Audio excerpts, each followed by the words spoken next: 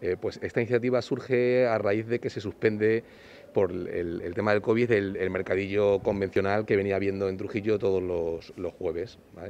Trujillo, al ser una capital de comarca, pues ese evento eh, que se venía haciendo aglutinaba a, gente de la comarca. Entonces, bueno, pues eh, en vista de que la crisis del COVID suspende este, este, tipo de eventos y eh, a priori sin edie, sin fecha concreta de eso, pues consideramos que una forma de reactivar el comercio local ¿vale? era eh, em, pues hacer algún tipo de iniciativa que simulara el, mercadillo. Entonces, eh, esa es la iniciativa. El, concepto es permitir que, los, todos los, establecimientos comerciales que lo, consideren saquen algún tipo de muestrario o de producto a la calle eh, con la idea de, bueno, pues de, llamar la atención del, consumidor. ¿no? Esa, es, la idea.